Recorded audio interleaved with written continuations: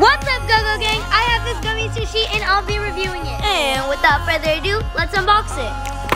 Oh my gosh, guys, look at this. Alright, Go-Go Gang, so first we have the sushi, and then this fish sushi, and whatever this is, and then these two, like, yellow ball things. Okay, so this part is marshmallow, the part that I'm holding, and then this part is like a sour rope, but I rate it 10 out of 10. Alright, now time to do the brownish black liquor. Let's go. This one tastes like Coca-Cola. 9 out of 10. All right, you know what time it is. The fish sushi. Mmm.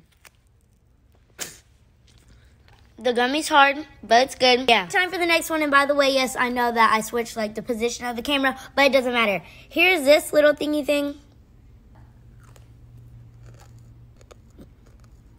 I don't know how I feel about this one. I can't really taste the flavor in the gummy, so 4 out of 10.